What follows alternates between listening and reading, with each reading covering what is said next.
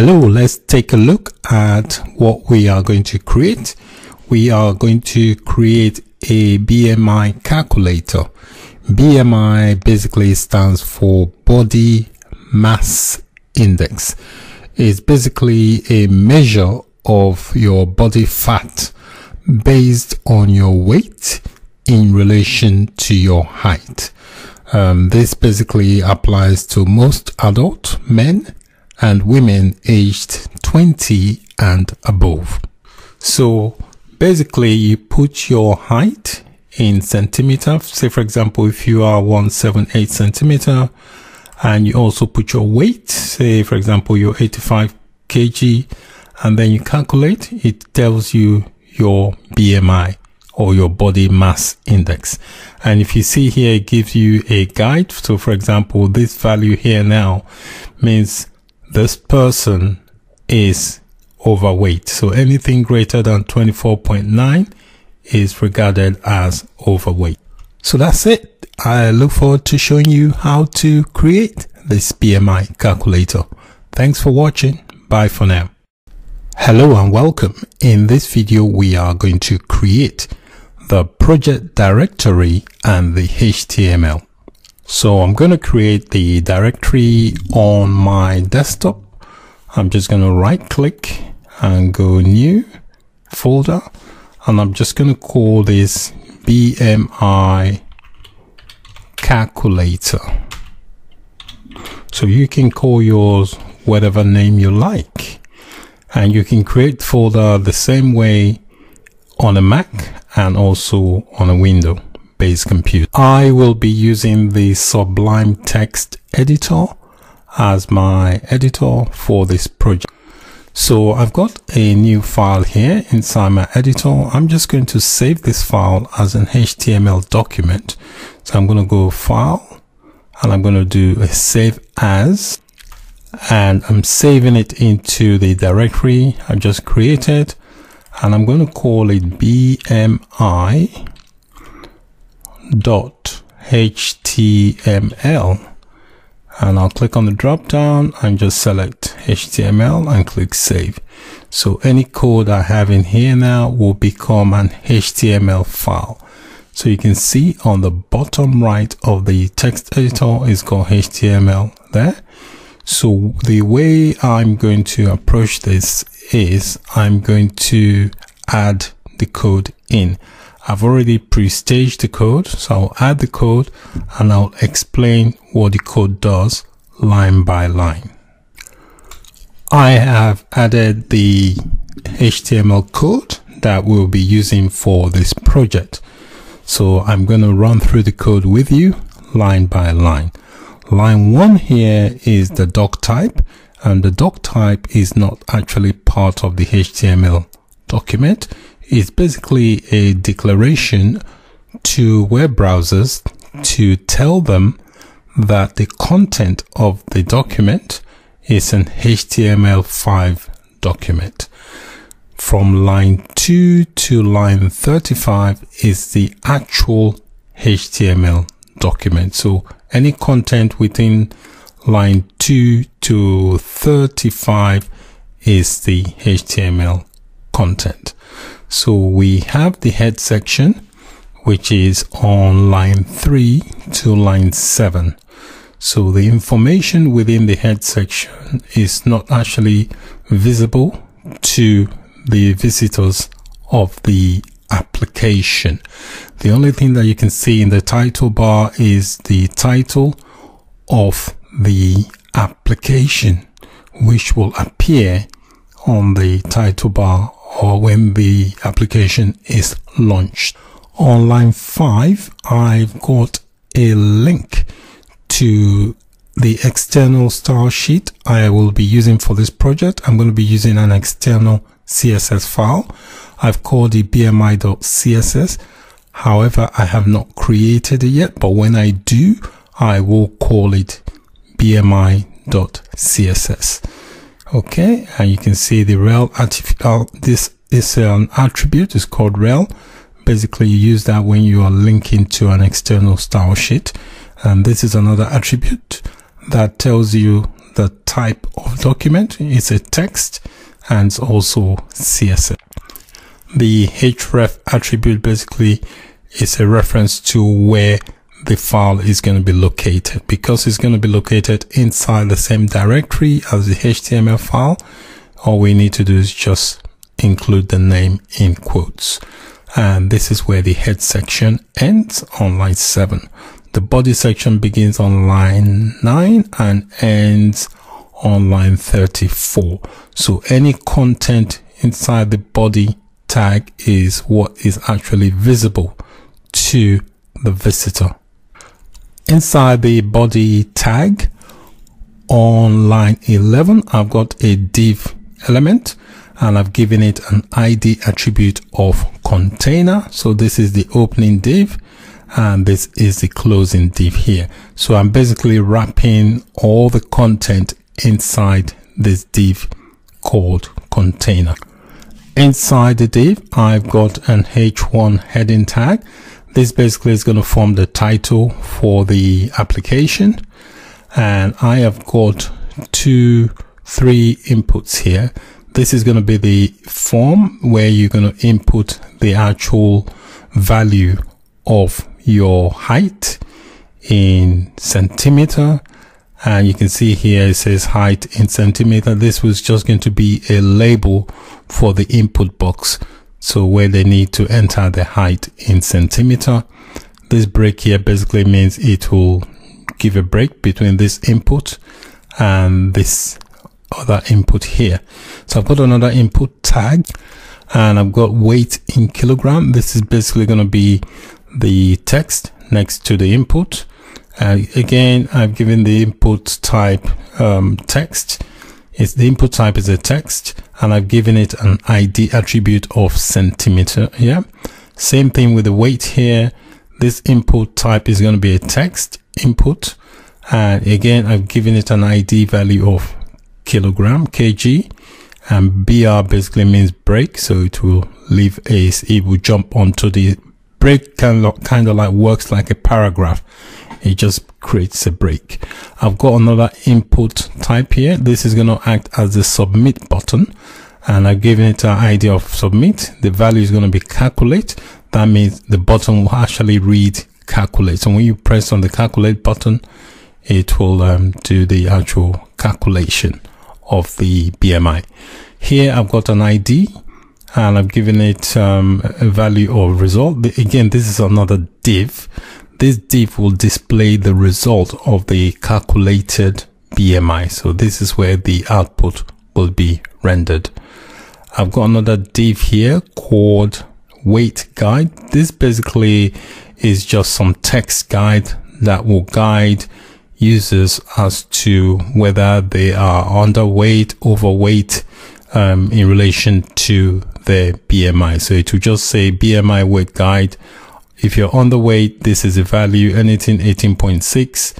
If you're normal, normal range or normal weight, it will be 18.6 and 24.9. So anything greater than 24.9 is going to be regarded as overweight. All right. And this is where the div ends.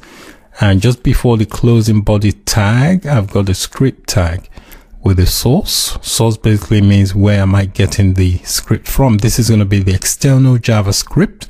This is the JavaScript file that will contain the JavaScript that will be responsible for computing or calculating the BMI. And I'm going to call the JavaScript file bmi.js. I've not created it yet, but when I do, I'm going to call it bmi.js. And that's the closing script tag my closing body tag and my closing HTML. I'm just going to click on save to save all and I'll quickly open up the, the file so we can see what it looks like. So I'm going to open up the directory and just double click on this so we can see. All right. So this is what the calculator looks like at the moment, the BMI calculator. So we're going to add some CSS later to make it look more presentable. So that's it for this lecture. We've created the directory for the project. We've also created the HTML structure. In the next lecture, I'm going to add some CSS before we go on in the lecture after that to create the JavaScript functionality. Many thanks for watching and bye for now. Hello and welcome. In this video, we are going to add some CSS to our project. So I've already made a reference to the CSS inside our HTML here using the link here. So now I'm going to create the actual CSS file. So I'll click on the file option. I'll go to new and I'm just going to save this. I'm going to save as and I'm saved inside the same directory as the HTML file. So I'm just going to call this BMI in lowercase BMI dot CSS. I'm just going to click on the drop down and select the CSS option.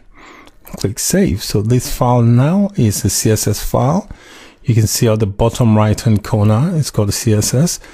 Again, I am going to add the CSS code and explain it line by line. So this is the CSS here. So I'm going to start with the first ID here. This is the ID called container. So if we look in the HTML, this is the ID I'm referring to. So here I have given it a width of 375 pixels, a height of 525 pixels, margin from the left. So basically this is the left. So i'm saying from the left i want it to move this 350 pixels. Margin from the top.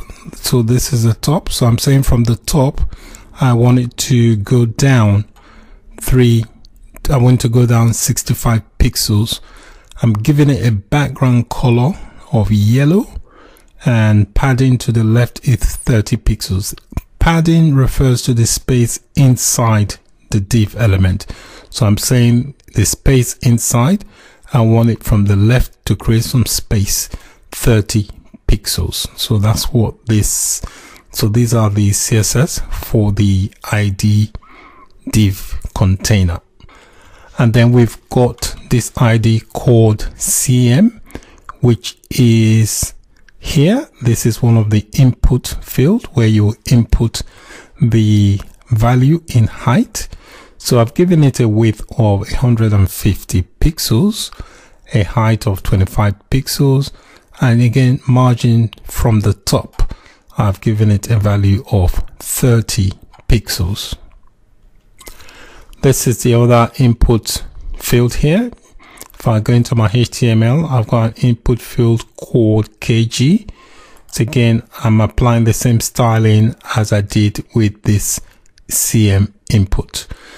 Again here, this is a weight guide, which is this div here I'm referring to, this block of code here. So basically this is the styling I'm giving it. I'm giving it a margin from the left, this is the left here, to move 75 pixels and margin from the top 50 pixels. Next, I've got the result ID, which is this div here on line 19. This is basically where the output will be rendered, the result of the BMI it's being calculated. And we have the submit button. This is the button that will be clicked on to do the calculation. So this is the value here. It's got an ID of submit okay and the value that will that means the text inside the button inside this input will say calculate so basically this is the css i've given it this is the width the height margin left top border radius basically gives it a rounded edge it makes it round gives it kind of like a button edge making the corners round.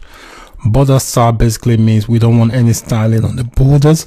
So if there's any shadows or any, anything like that it will remove the shadow. Background color. I've given it a background color of blue but feel free to apply your own custom styling so that it looks um, to your taste um, color here. This refers to the color of the text inside the submit um, input. It's going to be white. And font size basically refers to the text size. I've given it 25 pixels. Body here basically what I'm saying I'm giving the entire body of the document. I'm giving it a background color of black. This is black in hexadecimal values uh, finally I've got the h1 element. H1 basically this is the title here which is this here. That will say BMI calculator. I've given it padding because it's located inside the div.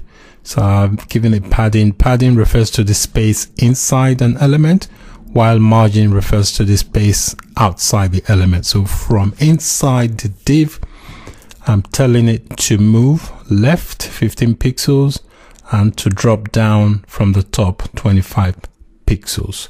So that's basically it for the CSS. I'm just going to save all that and open up the file again.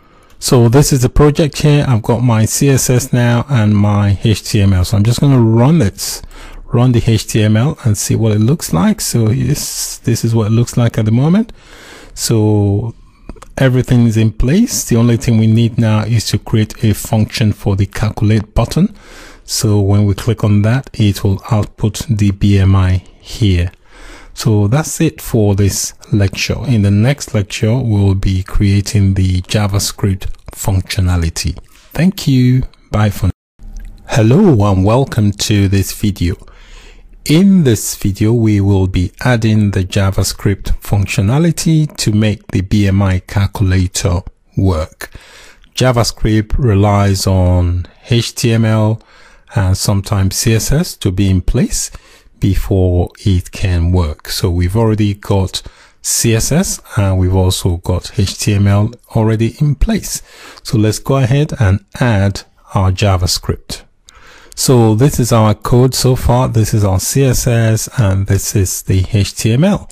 So let's add our JavaScript. We've already made a reference to our JavaScript inside our HTML file, courtesy of the script tag here on line 32. So to create a new file, I click on file, I'll go new, and I'm going to save this as a JavaScript file. So I'll do file save as, and it's going to save into the same directory as our CSS and HTML. I'm going to call this bmi.js and in the drop down I'm just going to select JavaScript which is this one here and I'll click save. So the code I'm going to be adding into this file is going to be JavaScript. You can see on the bottom right here it says JavaScript. So I've already pre-staged the code. I'm going to add it on and I'll explain the code line by line. So here I have added the JavaScript code that will make the BMI calculator work. So let me run through the code with you. On line two here, uh, I've got a comment.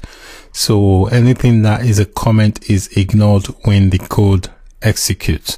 So this is a JavaScript comment. So it's a, this is what is known as a single line comment. So when the code runs, it will just skip this comment and ignore it. Comments are useful because they help you explain your code to yourself and also to others. So here on line two is what is known as the formula for calculating the BMI.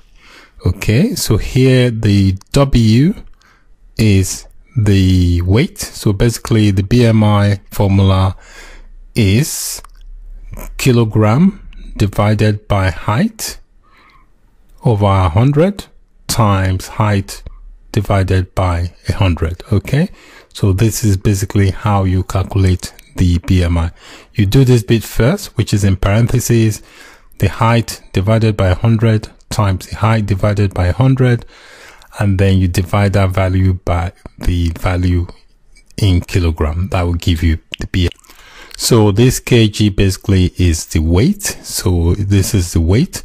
Um, you're dividing the weight by the height. So line four here, we're using the document.getElement by ID method. And inside the parentheses, we are passing in submit. Submit basically is the button here, which is inside our HTML document. If I scroll down here, you can see this ID submit. That's what we're referring to inside this here.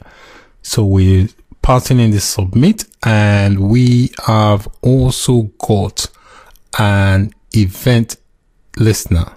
So here we've got the add event listener, the document.add event listener. Basically, this is a method that attaches an event handler to the document.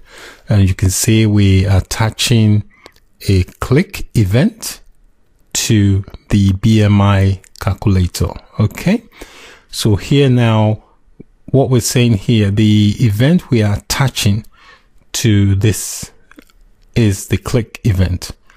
And when the button is clicked or the submit button is clicked on, it will call this BMI calculator. All right. This is a function which we are, which I have defined here on line five. So I've defined a function called BMI calculator. And here we've got some variables here, variable centimeter, and we are using setting that to equals to parse int. The parse int basically is a function that passes a string and returns an integer. Okay, that's what we're doing here. So we're passing a string but returning an integer. Integer is a number. And we're using the document of get element by ID and the ID we're getting is the CM. Again, if we go into our HTML, we can see we the C the CM here refers to the input. So this input here and this is the value. So any input that is entered into that text box is what is going to be converted into an integer value because the actual text box is a text. So we're going to convert it using this parse int. Here we've got a variable called kg. We're using the parse float. The parse float function parses a string and returns a floating point number. This function determines if the first character in the specified string is a number. If it is, it passes the string until it reaches the end of the number and then returns the number as a number and not a string. That's what the float does. Line 9 here I've defined a variable called BMI and a variable called new CM. I'm setting the value of the this variable here called new CM to parse float and I'm passing in the value in centimeters divided by a hundred. Here the this BMI here variable BMI I'm setting that to equals to the kilogram which is this, var this variable here divided by this value, which is this variable here, times the variable here as well. Here on line 13, again, the value of this BMI variable is going to change. I'm going to set the value to equals to the BMI dot to fixed. Basically, the to fixed method is used to convert number into a string, keeping a specified number of decimals. In this case, I've passed it one, so it will have one decimal place. Um, console.log, you don't necessarily need that. This basically is for troubleshooting purposes. So when you run your application, you can see the value also of the BMI inside the console. So this is not, is not mandatory. You could actually comment that out or don't use it if you don't want to but I tend to like it so I can see what's happening in the console as well. Line 16, we've got the document dot get element by ID and the ID is the result. So if we go into the HTML here, this is what it's referring to. Okay so it's getting the element by its result and it's going to replace this div with the calculated value of the BMI using the inner.html it will set the value of the BMI based on the calculated input so that is basically it so I'm just going to save this and then we can um, test to make sure everything works so I'm going to open up the directory here and click on this BMI HTML file, this one. So each time you have Terraform, it is the HTML file that you run. And don't forget that from the HTML file, I have linked both the CSS and the JavaScript. So I'm just going to double click on that and we can see. So I'm just going to test it. So height in centimeters. So I say 177 kilogram. I say maybe 85 I click calculate and you can see the value there okay so we've got our BMI calculator working as designed so that's it for this project if you have any issues whatsoever please do not hesitate to contact me I'll be more than happy to help you. Take care and all the best. Bye